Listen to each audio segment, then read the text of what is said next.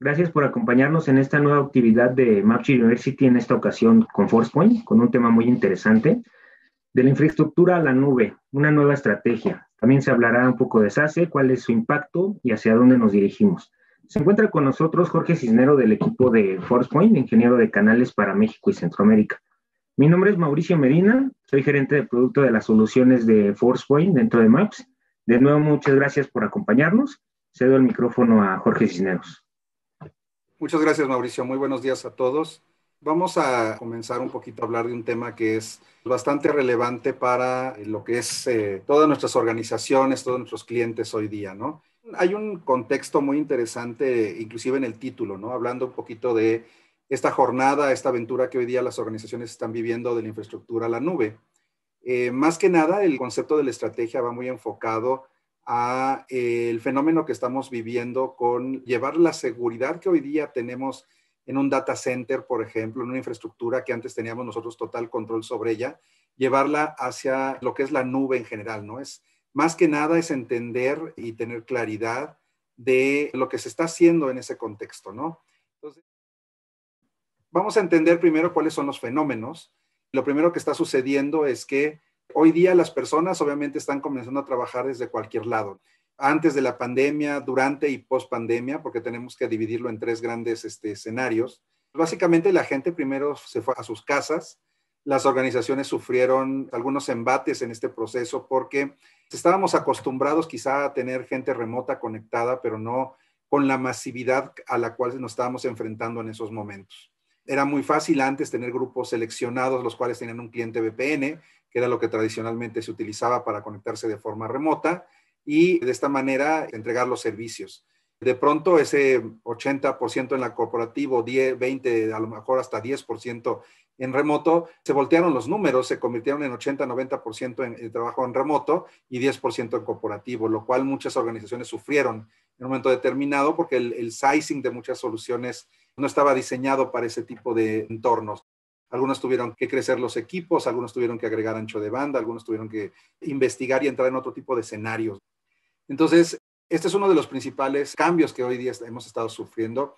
El trabajo en casa hoy día se ha quedado para muchas organizaciones, pero la realidad es que en muy poco tiempo, y es algo que se plantea inclusive en, varios, eh, con varios analistas, es que lo que le llamamos la nueva normalidad o la nueva cibernormalidad, que es un término mucho más adecuado, va a estar mucho más enfocado a un escenario de transición entre una y otra de las infraestructuras.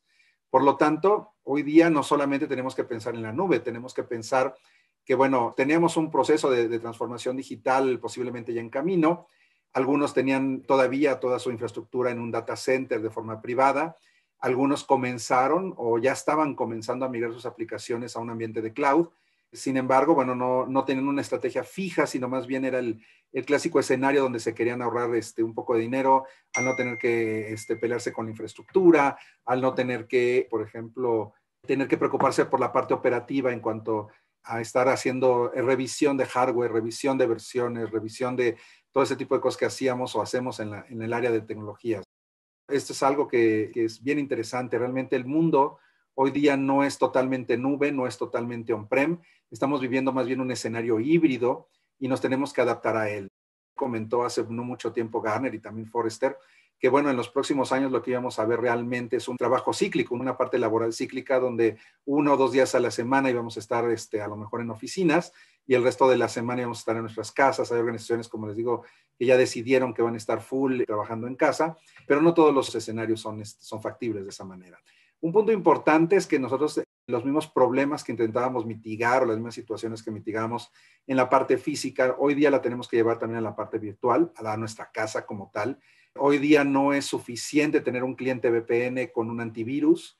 Eso resuelve parte del problema, pero no resuelve todos los problemas porque cuando estábamos, por ejemplo, en las sucursales, no solamente protegíamos amenazas, protegíamos datos o pérdida de datos, ¿no? La parte de que usamos con a lo mejor con un DLP, a lo mejor lo que hacíamos con un WAF eh, para la parte de los servidores, para un firewall de bases de datos, eh, etcétera, etcétera. Todo eso se mueve de alguna manera cuando está uno en remoto porque uno va a tener de forma mucho más local algo de información, algunos documentos y los vamos a comenzar a procesar de una manera diferente.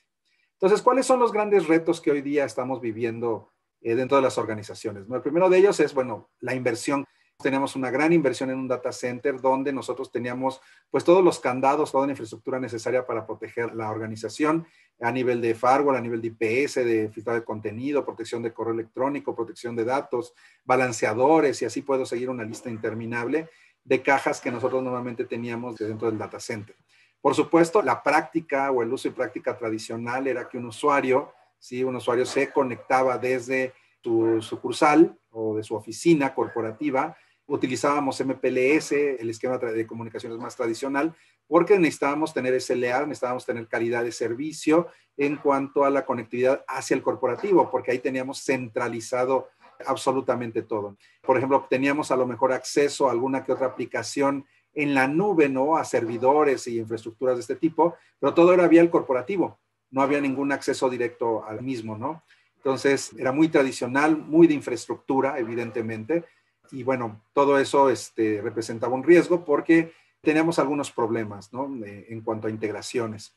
Por otro lado, la parte remota o las sucursales que no ameritaban tener un MPLS, pues se comunicaban vía la VPN tradicional, simplemente poniendo un esquema de conectividad paralelo similar al MPLS, con el objetivo de que, bueno, este, se pudieran acceder las mismas aplicaciones y, por supuesto, bueno, en cuanto a inversiones y cosas de ese tipo, pues van a hacer algo similar.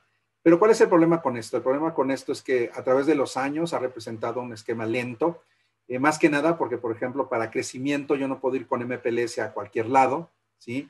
Y el escenario de VPN anteriormente era visto solamente para un porcentaje muy pequeño, o sea, no se veía como una solución para toda la organización, ¿ok?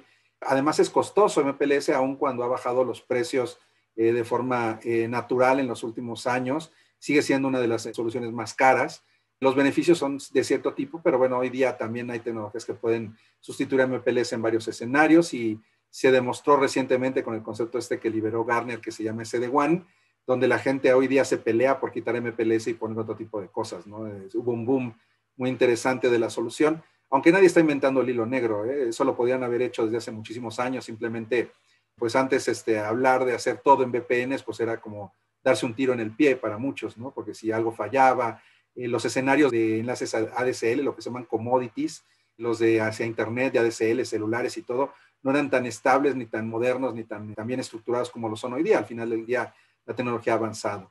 Por otro lado, no hay una integración real. Estamos muy acostumbrados a tener eh, conectados diversos dispositivos en la red no necesariamente interactuando entre ellos. Eso también es muy importante, ¿no? Las políticas entre cada uno de estos dispositivos eran totalmente aisladas e independientes. El firewall tenía sus políticas, el IPS tenía sus políticas, el, filtrado de contenido tenía sus políticas, el servicio de correo electrónico tenía sus propias políticas, el DLP tenía sus propias políticas. Eran totalmente aisladas y a eso le agregamos balanceadores, ruteadores, switches, todos eh, en cada lugar donde nosotros poníamos algún esquema de seguridad del WAF, parte de base de datos, todo tenía una política separada, un conjunto de reglas eh, separadas, ¿no? Y por otro lado, pues era una solución totalmente basada en on-prem. ¿Qué sucede? ¿Qué sucede cuando este tipo de escenarios crece, ¿no? Cuando las cosas se complican un poco más, surge un nuevo concepto, ¿no? Desde el punto de vista de conectividad, donde hoy día lo que se pretende es usar ese esquema que ya nosotros llamamos nube bajo nuevos escenarios. Primero, un concepto de Direct to Cloud. No sé cuántos de ustedes han escuchado este concepto de Direct to Cloud. Es un, eh, escenario generado de la parte de CD-WAN, del concepto de CD-WAN que planteó Garner, donde se habla que muchas de las funciones de seguridad que hoy día teníamos en un data center, en esas capas de forma separada, eh, deberían de ser migrados hacia la nube por otro lado, bueno, la parte de los enlaces de commodity que han mejorado mucho en, los últimos años, sus anchos de banda y otros escenarios más, pues no solamente me permiten comunicar directamente a, la nube, sino además me permite establecer esquemas de alta disponibilidad, donde yo puedo mezclar realmente marcas, ¿no? Hoy día en MPLS y otros nos peleamos con decir, este, ah, es que quiero alta disponibilidad, pues yo te doy dos puntas, pero resulta que las dos puntas en la última milla eran la misma y entonces caía la última milla y se caía todo, entonces no había alta disponibilidad real, ¿no? Todo eso ha ido cambiando y podemos efectuar escenarios de este tipo. Ahora, la parte interesante de todo esto es que en el año más o menos 2019, Garner también planteó que la ruta hacia la transformación digital era llevar pues, la gran mayoría de los servicios hacia la nube, ¿no? Poco a poco las organizaciones han ido migrando. El primero de ellos ha sido el servicio de correo electrónico, que es el más tradicional, pero han ido creciendo muchos más. Y además con la parte de la pandemia y la pospandemia, obviamente los servicios en nube eh, se han vuelto muy importantes, ¿no? Eh, para dar mucha más ubicuidad a todos los usuarios, sobre todo ahora que están en su casa, y eh, que no tengan que conectarse al corporativo para poder llegar a sus servicios, sino que lo pueden hacer directamente en la infraestructura donde se encuentran ubicados. La parte de seguridad, cuando yo hablo de subir un concepto de cloud hacia allá, es hacer converger estas herramientas de seguridad. O sea, no es tenerlas de forma aislada como las tenía en el data center, sino de realmente integrarlas en un escenario de convergencia al cual me permita poder ofrecer todos esos servicios de forma natural a las conexiones que estoy recibiendo en la nube y poder entregar estos servicios a cualquiera de los escenarios que hoy día tenga desde el punto de vista de conectividad. Esto es que estos servicios de seguridad no solamente los tenga hacia la nube, sino también hacia la parte privada, ¿no? La parte corporativa.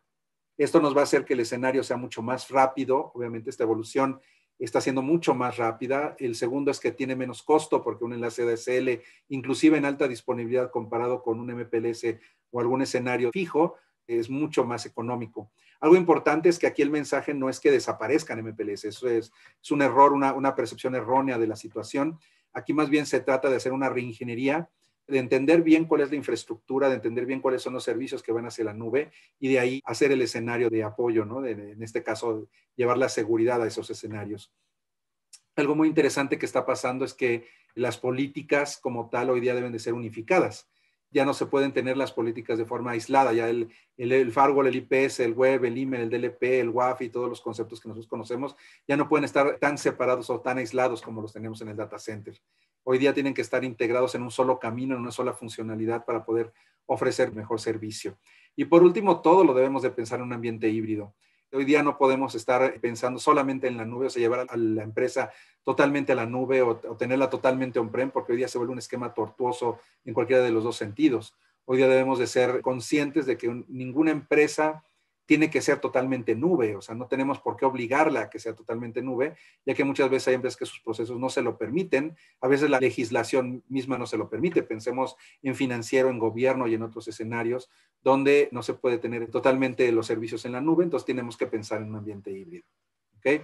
Otra de las situaciones que están sucediendo es la parte de los datos, ¿no? Hoy día nuestras personas, nuestros empleados, nuestros colegas tienen mucho más acceso a información y lo peor del escenario es que esa información hoy día está en sus casas muchas veces. No todas las prácticas que nosotros teníamos antes en corporativo las estamos llevando a la casa y de esa forma estamos generando nuevos huecos de seguridad. ¿Qué es lo que tenemos que entender? Que hoy día el usuario remoto crea, interactúa y comparte información de una manera mucho más amplia de lo que lo hacía originalmente. Estamos muy acostumbrados a que teníamos la infraestructura corporativa y entonces protegíamos lo que eran las aplicaciones y las bases de datos de forma local. Sin embargo, en lo que está sucediendo hoy día es que los usuarios están llevando información hacia ambientes mucho más abiertos, ¿no? Eh, para empezar, el hecho de usar Office 365, pues no es simplemente pensar que el correo es lo único que está funcionando.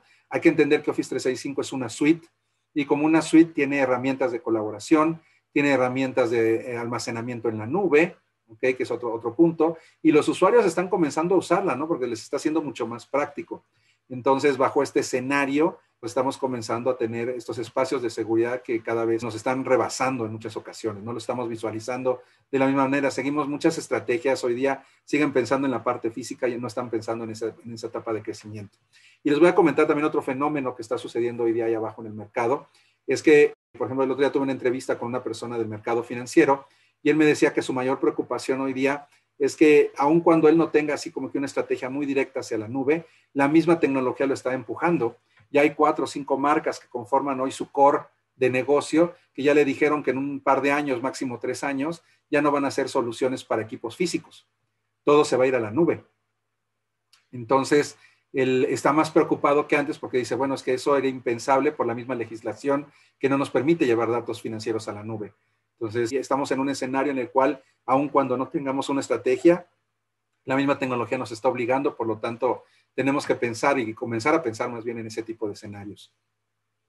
Por otro lado, el correo electrónico se ha vuelto todavía mucho más importante. Si no lo era, ahora es mucho más de lo que era siendo una de las principales herramientas de negocio, pero también siendo una de las principales herramientas de exfiltración de datos. ¿Cuántas veces no hemos escuchado o no hemos vivido o lo hemos practicado nosotros mismos que decimos, te voy a enviar esto, pero no te lo voy a enviar por el corporativo, te lo voy a enviar por el privado? Porque es más fácil, porque no tengo los mismos controles, porque en el corporativo no me permiten hacer ciertas cosas. Entonces, hoy día no solamente se trata de proteger el corporativo como tal, sino esos movimientos paralelos. Y cuando las aplicaciones se comienzan a mover del data center hacia la nube, Obviamente tenemos que pensar en nuevos escenarios, nuevas herramientas para poder proteger ese tipo de brincos, ¿no? ese tipo de prácticas que el usuario podría llegar a, realizar. Por otro lado, también estamos viendo un crecimiento interesante de la parte de chats, de, de mensajería instantánea, porque no sé si se han dado cuenta, pero la mayoría de los sitios tradicionales hoy día ya comienzan a incorporar chatters, messengers y otras herramientas más a través de los cuales los usuarios se comunican, ¿no? Antes solamente veíamos datos, hoy dice, ah, no, tener datos no es suficiente, comuniquémonos, ¿ok? Lo cual no es malo, lo malo es que también lo estamos perdiendo, ¿no? De, de vista en muchas ocasiones. Hoy manejamos datos sensibles y enviamos archivos y escribimos texto en muchas de las páginas de Internet y muchas veces nuestras herramientas tradicionales de data center no lo está viendo, no lo está protegiendo. Por lo tanto, tenemos que voltear a ver este tipo de escenarios también. Hoy día, un fenómeno que está pasando es que hay empresas que ya están llevando web WhatsApp, por ejemplo, a la organización como parte del proceso de negocio. O sea, ya no es suficiente en los celulares, hoy día ya es parte del proceso de negocio y hay usuarios que lo justifican y así nos han dicho ya varios clientes, ya les han justificado el uso de web WhatsApp simplemente porque es mucho más rápido que me contesten un WhatsApp a que me contesten el teléfono de la empresa o me contesten un correo corporativo. Es un fenómeno social bastante interesante que inclusive nosotros vivimos con nuestras familias, el día con día, ¿no? Ya, ya ven que alguien nos envió un correo y luego luego dice, ¿por qué no me has contestado? Yo te envié un mensaje, ¿no? Ese es algo que está fluyendo y que no lo podemos parar ya. ¿Ok? Por otro lado, la integración con otros productos de tipo IoT, de terceros en general que están comenzando a compartir información también de nosotros, el alto crecimiento, por ejemplo, en el uso de aplicaciones para compras de productos, por ejemplo, ahora que no salimos de casa, cómo han proliferado todas esas herramientas, todas las tiendas cada vez tienen más páginas de compras este, mucho más sofisticadas, mucho más enfocadas al usuario, mucho más robustas de lo que eran antes, ¿no? Entonces ahí también tenemos un problema y una preocupación porque sin más ni más puede ser un canal de exfiltración de datos, aun cuando el usuario no tenga una intención maliciosa, el simple hecho de abrir ese tipo de canales lo hace, ¿no? Por otro lado, seguimos teniendo los tradicionales USBs y las impresoras. La única problemática es que hoy día eso ahora lo tenemos en casa. Cuando lo tenemos en corporativo lo podemos controlar de manera local. Cuando se va el usuario a casa no hay forma de controlarlo. Al menos hay muchas organizaciones que dentro de su estrategia de lo que le llaman hoy día eh, WFH, que es Work from Home o trabajar desde casa, no lo están contemplando, no lo están visualizando de forma adecuada. Hay organizaciones que piensan que el equipo que se les entrega a los usuarios es de los usuarios y la verdad es que no lo es si lo vemos fríamente, el, la laptop que nos da el corporativo es del corporativo. Por lo tanto, el corporativo tiene derecho a proteger lo que se hace o se interactúa en ese equipo. Por lo tanto, hay que agregar controles nuevos también en esos escenarios. ¿Cuáles son los retos a los cuales hoy día nos enfrentamos en esto? Primero, que el usuario requiere visibilidad prácticamente a cualquiera de los escenarios que antes no tenía acceso. ¿okay? El otro es que las políticas están fragmentadas también bajo este esquema. O sea, tenemos políticas fragmentadas desde el punto de vista de conectividad, pero también tenemos políticas fragmentadas dentro del punto de vista de control de datos y de acceso. Y por otro lado, seguimos siendo estáticos y reactivos. O sea, no tenemos algo que sea este, proactivo, no tenemos una, estrategia, una visión hacia hacer procesos de analítica, por ejemplo, para entender cómo se comporta mi usuario en la parte remota, ¿no? Por ejemplo, todavía hay empresas que nos dicen, oye, yo lo que quiero saber es quiero ver si realmente mi usuario trabaja en su casa. O sé que está en su casa, pero quiero saber si realmente trabaja.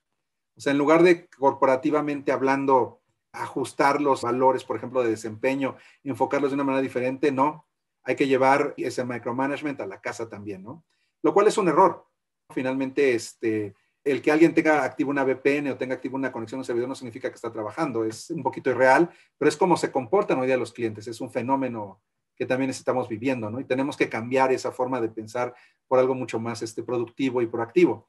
Eh, primero, bueno, una de las formas como podemos ver esta parte o resolver este tipo de escenarios es que, bueno, tenemos que estar convencidos, pero también tenemos que entender y hacer un estudio de cómo esos usuarios están viendo las distintas infraestructuras, qué es lo que están usando, cómo están utilizando las herramientas, ¿no? Cómo manejan los datos dentro de estos entornos. Ahí también, evidentemente, tenemos que trabajar en un esquema de políticas unificadas.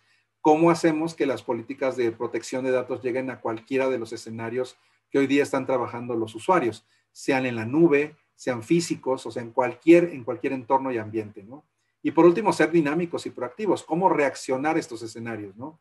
Y aquí es donde entra una parte muy importante que es la parte de analítica el entender a los usuarios de cómo se comportan y cómo realizan este tipo de trabajos es muy, muy importante hoy día.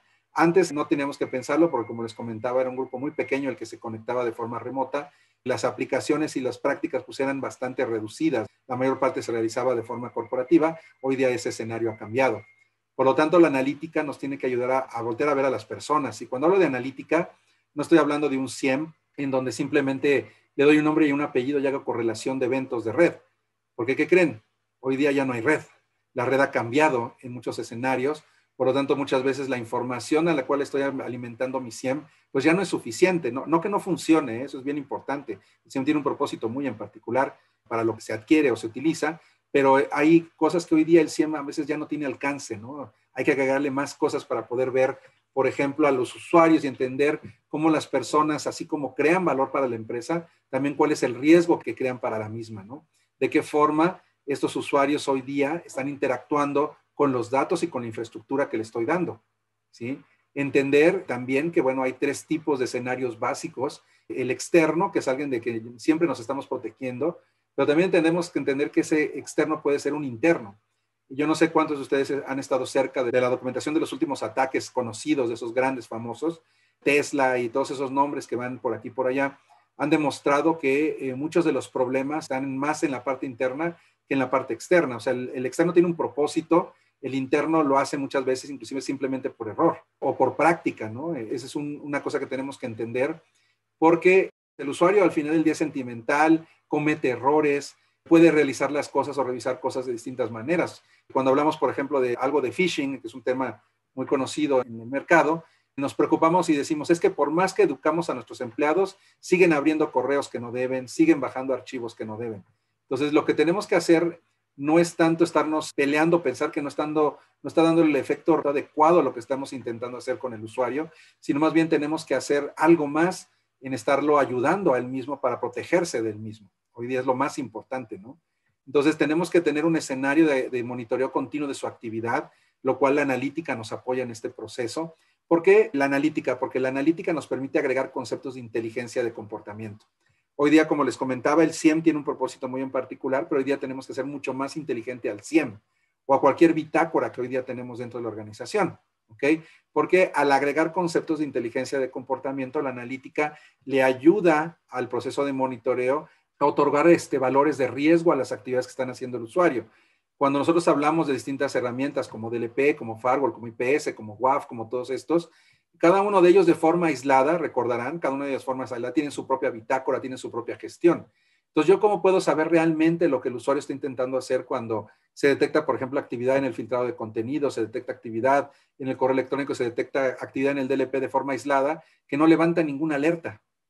Le tenemos que dar esa inteligencia de comportamiento, ya sea preadquirida o a través de inteligencia artificial y machine learning, que es el objetivo de la inteligencia de comportamiento, entender cuál es una intención posible para ese usuario. Por ejemplo, si alguien accediera vía web las páginas de OCC para buscar trabajo, estuviera enviando vía eh, correo electrónico a lo mejor este, su currículum y detectado por la herramienta de seguridad de correo electrónico. Por vía DLP detectamos que está imprimiendo a lo mejor la lista de precios y está bajando un USB la lista de clientes. En conjunto, bueno, en separado a lo mejor no significa algo en particular porque la, gente que lo está haciendo es de confianza, pero ese conjunto de actividades para algo como la analítica podría significar que esa persona se quiere ir de la empresa y al que ir de la empresa, yo lo que debo de hacer es reaccionar y tener visibilidad para poder aplicar políticas de forma automatizada, inclusive en algunos casos, para poder apoyar ese escenario y balancear un poco la actividad que crea valor para la organización y la actividad que crea un riesgo para la misma.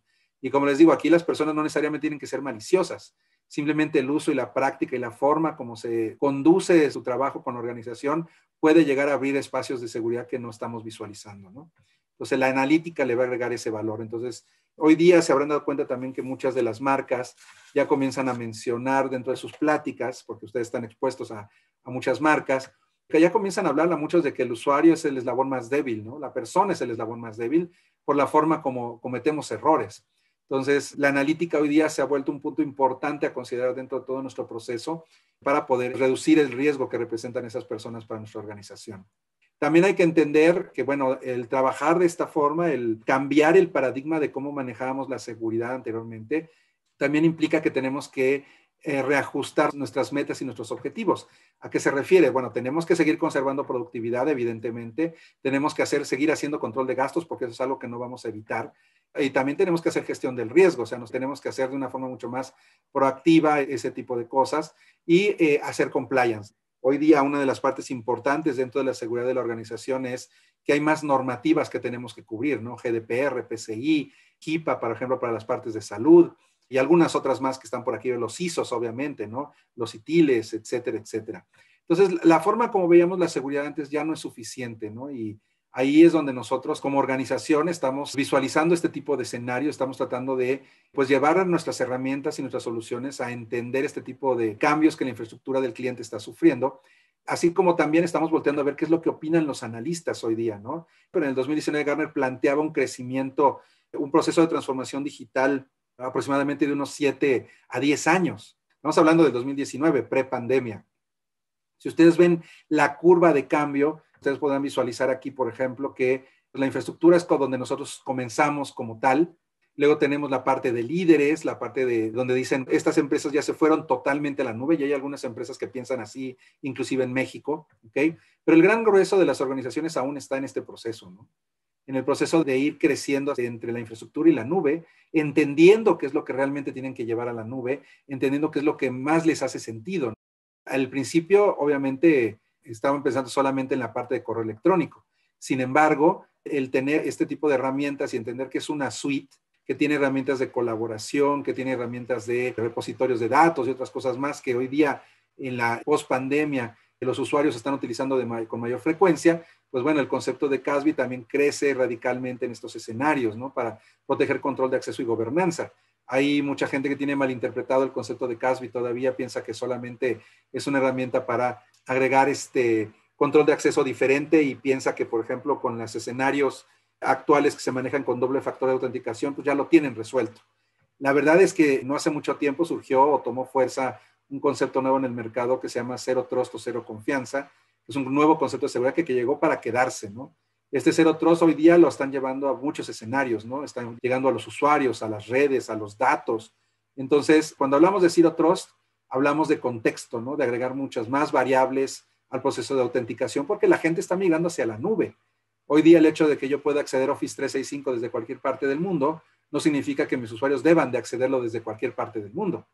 Si no, imagínense, alguien me roba mi usuario, mi password por alguna razón, o inclusive llega a tener acceso a, algo de, doble factor de autenticación, porque ya han violado esquemas de doble factor de autenticación en el pasado, a RCA le pasó, a los grandes les ha pasado, no estamos este, ajenos a que pueda pasar en otros escenarios. Entonces, Zero Trust va a agregar, por ejemplo, conceptos de geolocalización, va a agregar conceptos de un concepto que se llama dispositivos gestionados, no gestionados, darle identidad única a cada uno de los dispositivos que acceden a la herramienta. Entonces, eso es lo que hoy día está llevando a cabo las herramientas. Y hoy día CASBI tiene ese tipo de visión desde el punto de vista de gobernanza, de control de acceso, agregar ese concepto de cero trust y de geolocalización y de dispositivos que antes pensábamos que no era necesario y que hoy día se está volviendo muy importante, ¿no? Otro punto importante que estamos viendo evolucionando es que hoy día la gente ya lleva DLP también a todos los escenarios, ¿no? Hoy día el concepto de fuga de datos ya no está nada más en un agente que se instala en un equipo, sino también en los canales que se utilizan. Hoy día hay que sofisticar, por ejemplo, la parte de web, la parte de email, desde el punto de vista de DLP. Hoy día no podemos implementar una solución de seguridad, por ejemplo, de protección de correo electrónico, simplemente pensando en phishing y en spamming. Hoy día tenemos que entender que nuestra postura de seguridad en cuanto a fuga de datos tiene que ir a ser mucho más robusta y tenemos que llevar eso también al canal de web. Como les comentaba, el canal de web tiene chatters, tiene messengers, tiene herramientas para introducir datos en las mismas páginas que tradicionalmente un agente que está instalado en una máquina no los ve. Hay escenarios muy interesantes que hoy día tenemos que también considerar desde el punto de vista del EP y llevarlo hacia allá, no, no se diga al escenario de la nube en general. Por otro lado, los conceptos han ido cambiando también desde el punto de vista de práctica, ¿no? Cosas como Next Gen Firewall e IPS hoy día mudan a nuevos términos como One. La parte de protección de amenazas y todo eso también se vuelve interesante porque comenzamos a llevar nuestras soluciones hacia la nube en servidores. La parte administrativa, tenemos que comenzar a controlar todo este proceso de control. Por otro lado, la inteligencia artificial y el machine learning desde el punto de vista de comportamiento comienza a englobar todo este tipo de escenarios hay nuevos términos como hueva en la parte de Analytics, pero no solamente en un contexto general. Ya comenzamos a ver soluciones de comportamiento mucho más enfocadas, ¿no? Este, partes de automatización de procesos, ¿sí? mucho más enfocado al concepto de centrado en el humano. Entonces, hoy día la estructura nos está obligando a comenzar a implementar procesos que pensábamos que solamente íbamos a ver en la nube. ¿sí? Hoy día este tipo de cosas, estos silos se han pues, acercado más de lo pensado y el ciclo que Garner planteaba que iba a suceder entre 7 y 10 años se ha reducido a 3, máximo 5 años, lo cual en tiempo de tecnología es básicamente, estaba a la vuelta de la esquina, ¿no? Todo este tipo de circunstancias que estamos enfrentando. ¿okay? Ahí es donde surge el concepto o nuevos conceptos al respecto, ¿no? La parte de SASE como una arquitectura y una metodología. Hay que entender que SASE no es un producto. Zero Trust tampoco es un producto. Es una metodología, es una arquitectura que plantean escenarios que nosotros tenemos que englobar dentro de nuestra organización y adaptar a los usos y prácticas para poder hacer convergencia de la conectividad y la seguridad en la parte de la nube. Y por otro lado, romper el paradigma de la confianza implícita y llevarla a una confianza explícita, ¿no?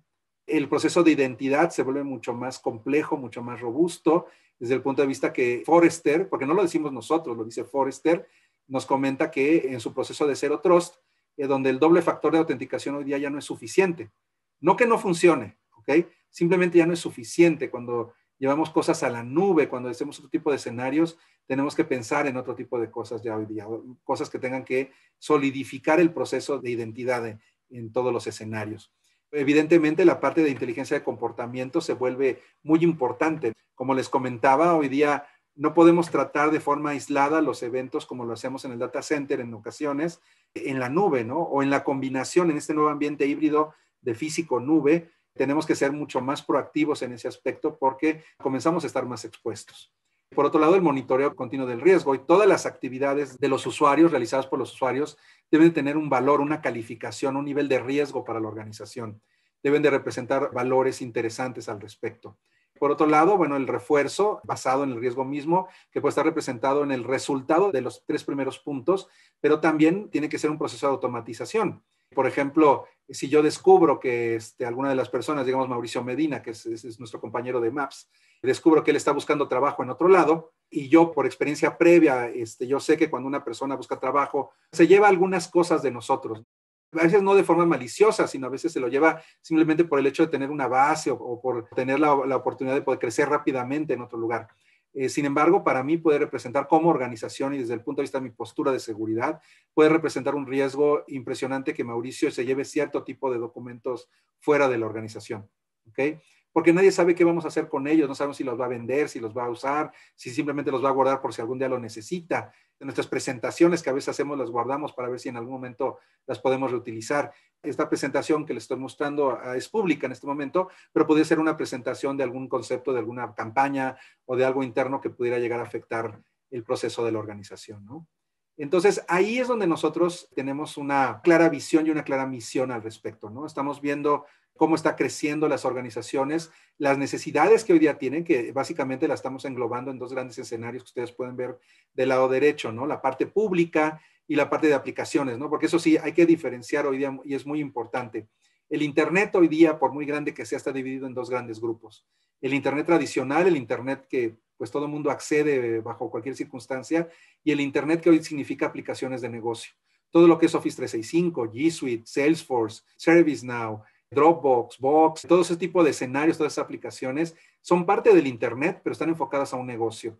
Y hoy día puedo tener una parte corporativa, una inversión corporativa en esas herramientas que representan una extensión de nuestro data center al final del día o un, nuestro nuevo data center, también lo podemos llamar de esa manera. Por otro lado, bueno, las aplicaciones privadas, les comentaba, estamos conscientes de que las organizaciones hoy día sufren un proceso de transición. No pueden ser totalmente nube, no pueden ser totalmente físicas y no tenemos ninguna obligación o este, ninguna intención de obligar a las organizaciones a irse a los dos extremos porque va a ser tortuoso. Por lo tanto, tenemos que seguir manejando un ambiente híbrido y tenemos que entender que también del otro lado, del lado izquierdo, existen las personas que trabajan en casa o las que van a tener movilidad o ese ciclo de estar visitando corporativo casa, corporativo casa, van a estar accediendo a este tipo de escenarios. El primer esfuerzo que nosotros hicimos fue crear un agente unificado. Uno de los grandes problemas que hoy día se sufre es que eh, yo le instalo muchas cosas a los equipos y eso históricamente nos ha llevado a, tener que cambiar equipos constantemente, a estarles aumentando la memoria, a tener problemas de integración, por ejemplo, entre los distintos agentes, etcétera.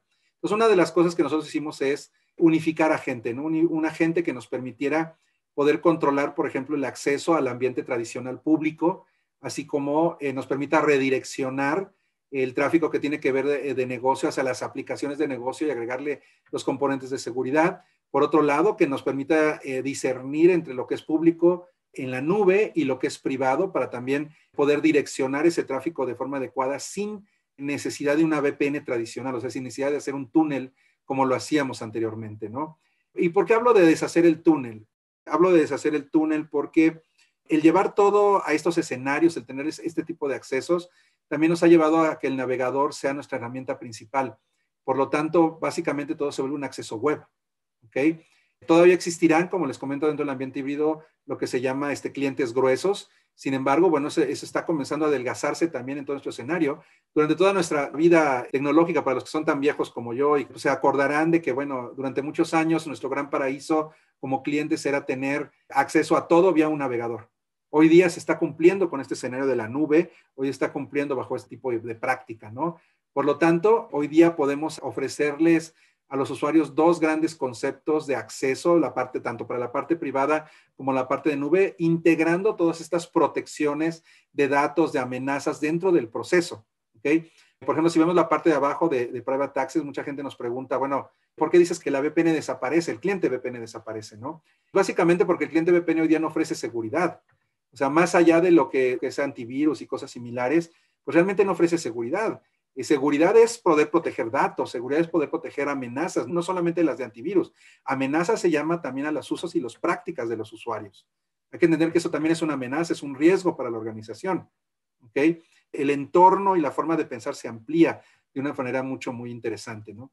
Y evidentemente poder ofrecer este tipo de escenarios con el concepto de analítica este, asociada a este tipo de prácticas. Una vez que entendemos y tenemos claro cómo el cliente se está comportando y se está moviendo, pues bueno, la analítica pasa a ser un sustento importante porque entonces yo ya no me enfoco solamente a leer esas miles, diez miles o cien mil de eventos que cada usuario genera al día dentro de mi organización, sino que le otorgo la inteligencia para que agrupe ese conjunto de eventos y entonces me diga quiénes son los grandes infractores y no solamente un conjunto de eventos que tengo que interpretar a mi mejor criterio.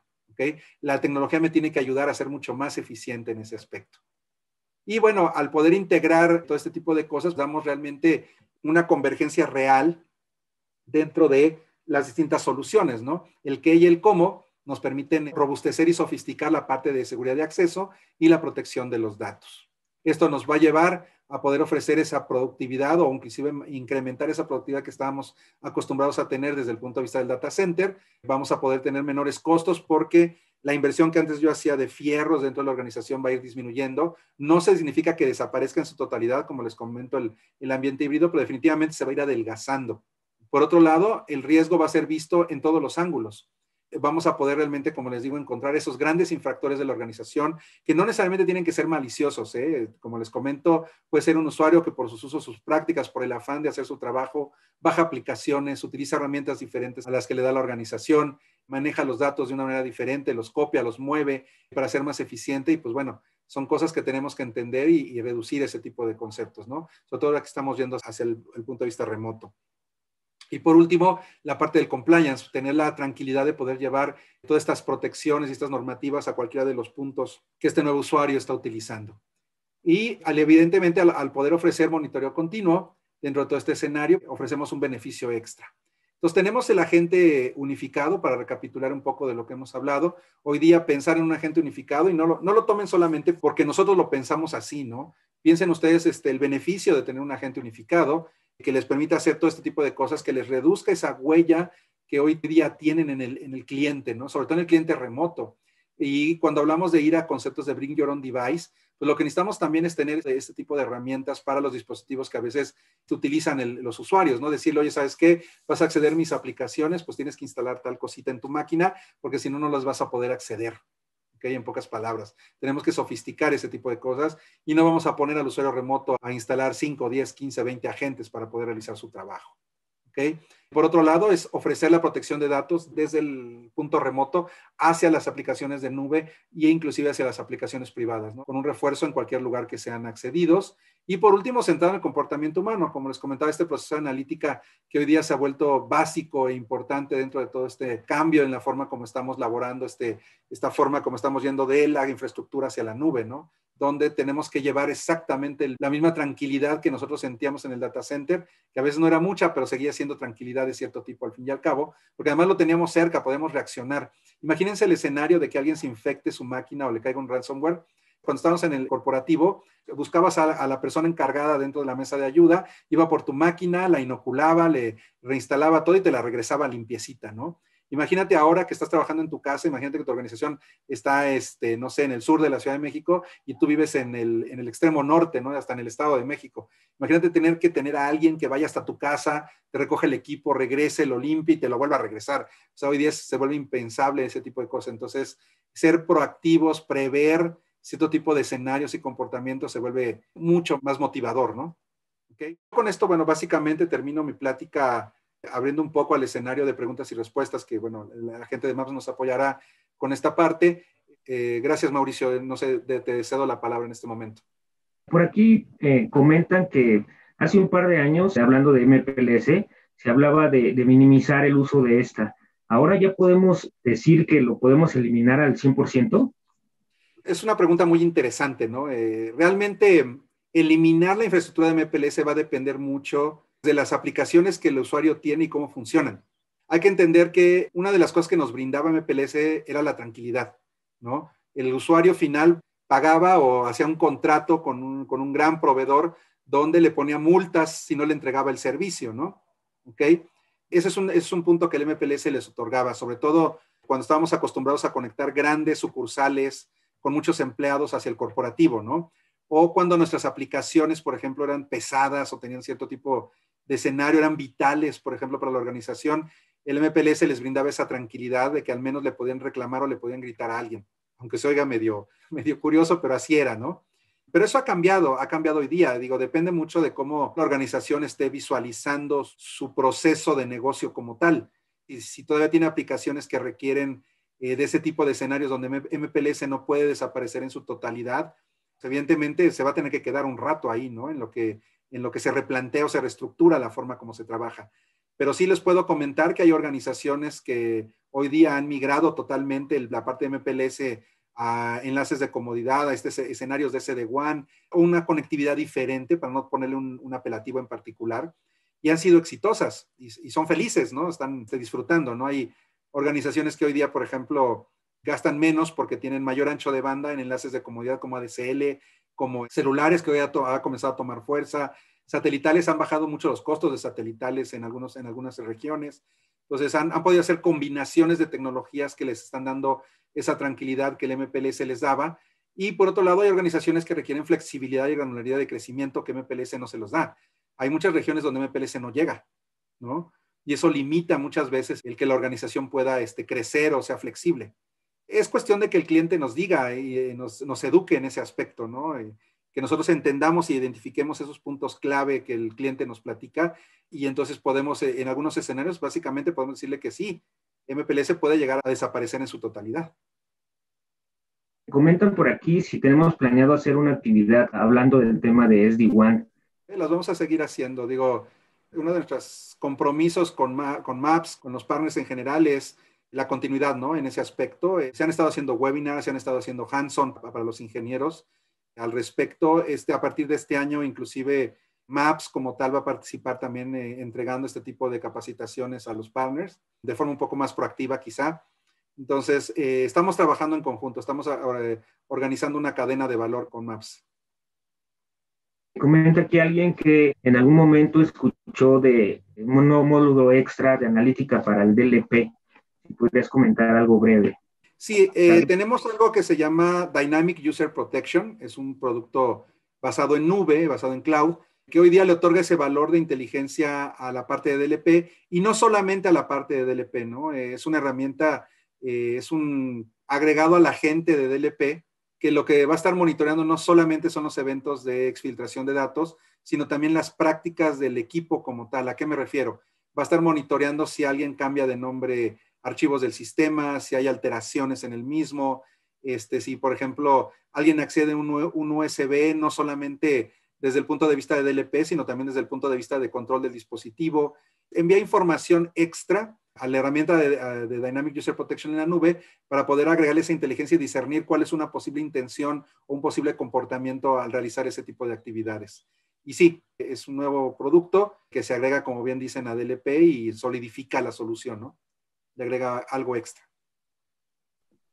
Si una empresa ya cuenta con soluciones de seguridad, por ejemplo, EPP, EDR, ¿esta solución de ForcePoint se integra con ellos o se tiene que quitar? ¿O en conjunto abonan a la seguridad del cliente? Bueno, eh, realmente no se quitan porque más bien la, la, respuesta correcta es en conjunto trabajan, ¿no? Trabajan en conjunto, cada uno en su propio escenario, ¿no? Un EDR o un EPP, por ejemplo, una solución de endpoint desde ese punto de vista de anti-malware, lo que están haciendo no solamente es evitando que les llegue algo, sino que se instale, que ese es su objetivo principal, evitar que se instale en el equipo, que trabaje dentro del equipo.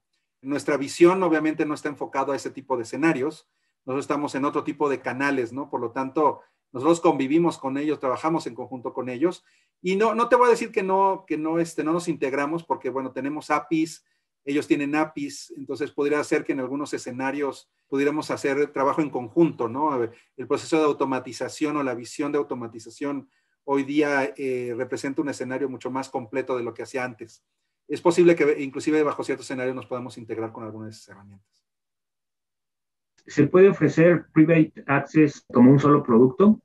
Por supuesto que sí. Este, como les comentaba, hacia el camino hacia SASI, o SASE, como la quieran pronunciar, eh, nosotros tenemos dos grandes iniciativas. Una iniciativa es Cloud Security Gateway, que no es un producto, es una iniciativa comercial y técnica que involucra una serie de herramientas para proteger la parte pública, la parte de aplicaciones en cloud. Y por otro lado está Private Access para lo que es el acceso a las herramientas privadas, o las que están en data center todavía, ¿no? Cualquiera de las dos puede trabajar por separado o inclusive podemos ofrecer un escenario en conjunto. Lo podemos hacer en base a lo, a lo que el cliente necesite o, le llame la atención, ¿no? ¿Cuál es el proceso recomendado para ForcePoint en la adopción de, de SASE? Como comentaba, SASE es una arquitectura, es una metodología. Esencialmente, SASE lo que plantea es el, llevar las aplicaciones de negocio hacia ambientes en la nube. Es básicamente lo que plantea, ¿no? El, concepto de transformación digital aunado a los procesos de seguridad. Entonces, lo primero que tenemos que entender es qué es lo que el cliente quiere hacer en la nube. ¿Cuál es su estrategia? ¿Qué, ¿Hacia dónde va? ¿Qué quiere hacer? ¿Qué quiere mover del data center tradicional al ambiente de nube? Por ejemplo, Office 365, ¿no? Que es algo a lo que nos, que es algo muy común en el mercado, G Suite, Google Suite. Cuando entendemos que es una suite y no un producto solamente, podemos alcanzar a ver mucho más la amplitud. Podemos ir con un cliente y decirle, a ver, tú tienes Office 365, eh, vamos a desglosarlo en sus componentes. El primer componente del obvio es el correo electrónico, ¿no? ¿Qué tipo de protección le quieres hacer al correo electrónico? Ah, bueno, quiero spamming y phishing y quiero este, ese tipo de controles. Ah, bueno, entonces necesitas una herramienta de, seguridad de correo electrónico que te ayude a proteger ese tipo de cosas o, bueno, eliminar el spam y el phishing y te agregue, por ejemplo, a lo mejor conceptos de cifrado en el correo, a lo mejor un concepto que se llama URL wrapping, que es el análisis de los URLs embebidos en los correos, que te ayuda a controlar, por ejemplo, las imágenes no solamente en anexos, sino las que mandas este, embebidas en el correo, etcétera, etcétera, ¿no? Pero al mismo tiempo el correo me puede decir, pero también quiero sofisticar y controlar eh, la parte de acceso a las cuentas, ¿no? De cuando se conectan al correo electrónico, quiero sofisticar eso para que no cualquiera se pueda conectar a, sus cuentas de correo y también no desde cualquier dispositivo, desde cualquier lugar. Entonces ahí le estaríamos pensando en un concepto de CASB, por ejemplo, ¿no? Eh, para poder hacer ese tipo de gestión y de gobernanza a la aplicación en la nube. Esa es la parte nada más del email. Después le digo, oye, usted eh, le podrías preguntar, ¿estás utilizando tus repositorios? Esos repositorios estarían representados por OneDrive, por SharePoint, por ejemplo, ¿no? Tienes datos sensibles en esos repositorios, hay información que si sale de ahí para ti es preocupante, es crítica, entra dentro de tu postura de seguridad de fuga de datos. Si la respuesta es sí, entonces podemos eh, analizar, por ejemplo, poder implementar herramientas que le permitan controlar la carga y descarga de archivos en esos escenarios con un concepto de DLP, pero ya enfocado a las aplicaciones eh, de este tipo en la nube monitorear carga y descarga, poder interactuar, o sea, permitir y bloquear, poder evitar movimientos paralelos, hacer interactuar este DLP en la nube con Casby para poder evitar movimientos paralelos. Por ejemplo, que alguien simplemente copie una liga y lo quiera mandar a través de un correo personal, que no sea el corporativo.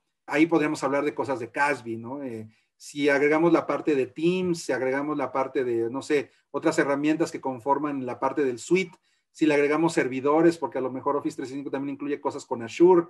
Y entonces podemos eh, entender mucho mejor, eh, ya no desde el, desde el punto de vista de producto de seguridad, o sea, ya con la idea de llegar a ofrecer un firewall o esto, el otro, sino eh, llegar con el cliente y tener conocimiento de cómo funcionan hoy día las aplicaciones en la nube.